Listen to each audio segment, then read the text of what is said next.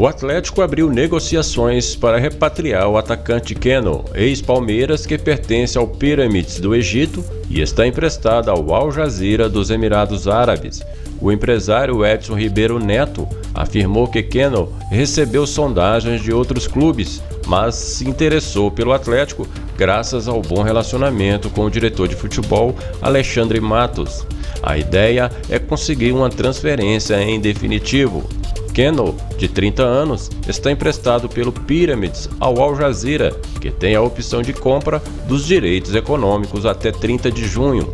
O vínculo dele com o clube egípcio terminará em junho de 2021. Sua contratação foi efetivada em junho de 2018 por 10 milhões de dólares, cerca de 37 milhões de reais na cotação da época.